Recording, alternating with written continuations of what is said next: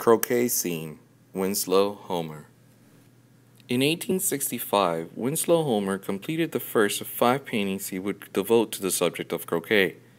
Croquet Scene is probably the fourth in the series and the most compositionally striking in its use of light color to define space. Homer's interest in depicting croquet coincides with the rise in popularity of the game among the upper classes in America.